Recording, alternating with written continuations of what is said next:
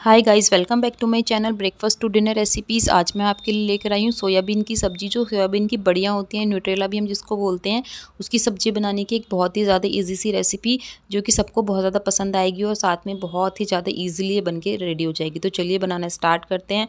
तो उसके लिए यहाँ पर मैंने सोया चंक्स लिए हैं मिनी वाले सोया चंक्स लिए हैं मैंने, जो छोटे साइज़ के आते हैं वो, आपके पास जो भी अवेलेबल हो आप वो ले सकते हैं। उसके बाद में मैंने यहाँ पर डेढ़ कप सोया चंक्स लिए हैं और उसको मैंने गर्म पानी में सोख करके रख दिया, दस से पंद्रह मिनट के लिए, इससे क्या होगा ना, ये अच्छे से फूल जाएँगे और जो इसमें जो भी गंदगी होगी है, जो भी एक्स्ट्रा थोड़ा स्मेल जैसी रहती है ना, वो सब इसमें से निकल जाएगी। तो हमें इसको, ये वाला प्रोसेस बहुत ज़्यादा ज़रूरी करना है। गर्म पानी में दस से पंद्रह मिनट के लिए भिगो के रखेंगे और उसके बाद में ये फूल जाएँगे, तब हम आगे का प्रोसेस करते हैं। तो चलिए, अभी इसको रेस्ट करने देते हैं थोड़ी देर के लिए और यहाँ पे पंद्रह मिनट का लगभग समय हो गया है। तब देखते हैं हमारे जो सोया चंक्स हैं, उसने सारा जो पानी है उसको एब्जॉर्व कर लिया है।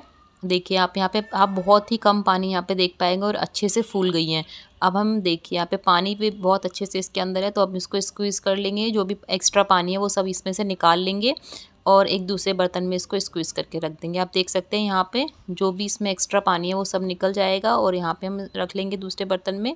डाल के इस तरीके से हम सारे सोया चंक्स को स्क्वीज़ करके रख लेंगे और अब लेंगे एक पैन पैन में हमने यहाँ पे डाला है थोड़ा सा ऑयल और उसको हमने फ्राई करना है या फिर सॉटे करना है, जो सोया चंक्स है हमारे, उनको। यहाँ पे हम इसको सॉटे कर लेंगे। इससे क्या होगा, जो भी सोया चंक्स में थोड़ी स्मेल होते हैं, वो सब निकल जाएगी और खाने में भी इसका टेस्ट बहुत अच्छा हो जाएगा। ये वाले, इस वाले प्रोसेस को आप बिल्कुल भी स्किप नहीं करेंगे, इसको ज़रूर करेंगे। इसी से आपके जो सोया चंक्स हैं, वो बहुत अच्छे बन के रेडी होंगे।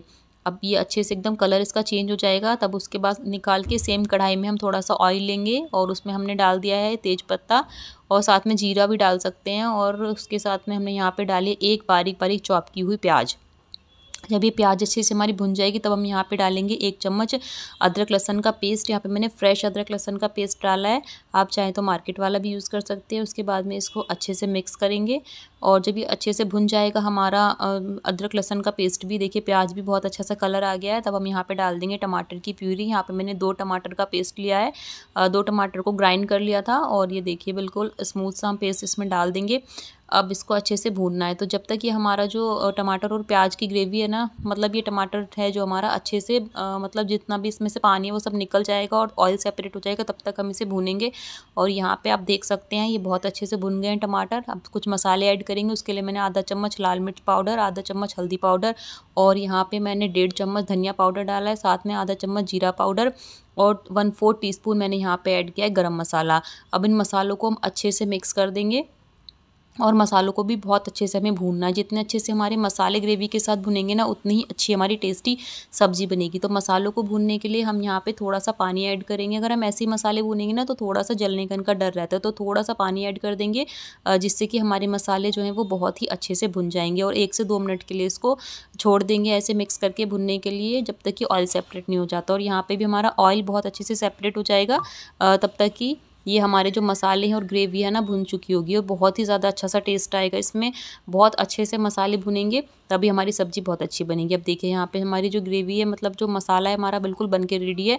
तो अब हम इसमें डालेंगे कर्ड तो यहाँ पे मैंने डालना है तीन चम्मच कर्ड डाल, जो नॉर्मल स्पून होती है, उससे मैंने तीन चम्मच यहाँ पे दही का यूज़ किया है। दही बहुत ज़्यादा खट्टी भी होनी, नहीं होनी चाहिए, एकदम नॉर्मल से हमें दही डालनी है। बिल्कुल पुरानी दही नहीं चाहिए फ्रेश हमें कर्ड यहाँ पर यूज़ करनी है। और देखिए कर्ड को मिक्स करने के बाद वो मसाला आप देख सकते हैं, बिल्कुल रेस्टोरेंट की जैसा यहाँ पे हमारा मसाला बन के रेडी हुआ है। बहुत ही ज़्यादा अच्छा मसाला बना है। अब बस जो हमने यहाँ पे सोया चंक्स को फ्राई करके रखा था, वो हम यहाँ पे इसमें ऐड कर देंगे और इसको एक से दो मिनट के लिए मसाले के साथ में मिक्स कर लेंगे अच्छे से। एक से दो मिनट इसको लगातार चलाते हुए भूनना है। जिससे कि जो हमारा मसाला है ना, वो सोया चंक्स के अंदर तक चला जाएगा और बहुत ही बढ़िया सा एकदम टेस्ट देगा। भूनने के बाद में हम यहाँ पर ऐड कर देंगे नमक, क्योंकि अभी तक हमने कहीं भी नमक ऐड नहीं किया तो दही डालने के बाद ही हम नमक ऐड करेंगे। देखिए, हमने यहाँ पे इसमें नमक ऐड कर दिया है और साथ में स्लिट की हुई ग्रीन मिर्ची भी डाल दी है, फिर इसको मिक्स कर लेंगे। और हमें एक बात का और ध्यान रखना है, जब हम दही ऐड करेंगे ना मसाले में तो हम गैस को बिल्कुल ऑफ़ कर देंगे, अदरवाइज़ हमारी दही ना थोड़ी फट जाएगी। तो अब हम यहाँ पे अच्छे से भूनने के बाद में पानी डाल देंगे। अब पानी हमें अपने अकॉर्डिंग डालना है। आपको जितनी भी ये ग्रेवी रखनी है ना थिक या फिर थिन, उसके अकॉर्डिंग आप यहाँ पे पानी ऐड करेंगे। बट अब आप ध्यान रखेंगे इस चीज़ का कि हमने पहले ही इनको अच्छे से सोक कर लिया था पानी में तो अब जो ये सोया चंक्स है ना, बहुत ज़्यादा पानी को एब्जॉर्व नहीं करेंगे तो आप इसके अकॉर्डिंग यहाँ पे पानी डाल सकते हैं। बट जितनी आपको ग्रेवी थिक या थिन रखनी है ना, उससे थोड़ा सा पानी हमें एक्स्ट्रा डालना है बस। अब पानी डाल के यहाँ पे मैंने यहाँ पे डेढ़ कप के करीब पानी का यूज़ किया है, ढक के रख देंगे दस मिनट के लिए लो फ्लेम पे और उसके बाद में जो हमारी सब्ज़ी है वो बन के बिल्कुल रेडी आप देख सकते हैं, बिल्कुल भी ज़्यादा पानी इसने एब्जॉर्ब नहीं किया है और ग्रेवी हमारी अच्छे से एकदम हो रही है, अच्छी हो रही है मतलब थिक ग्रेवी हो रही है, बहुत ही ज़्यादा बढ़िया लगेगी ये। तो चलिए अब इसको सर्व कर लेते हैं, अगर आपके पास हरा धनिया है तो इसमें ज़रूर डालिएगा, बहुत ही अच्छा टेस्ट आता है, अभी मेरे पास नहीं था तो मैंने यहाँ पे नहीं डाला है। और अब इसको सर्व कर लेते हैं। बहुत ही ज़्यादा इजी सब्ज़ी बनाना है, अगर कुछ भी समझ में नहीं आ रहा है, क्या बनाएँ तो आप सोया चंक्स की रेसिपी को ज़रूर ट्राई कर सकते हैं, बहुत ही ज़्यादा टेस्टी लगती है।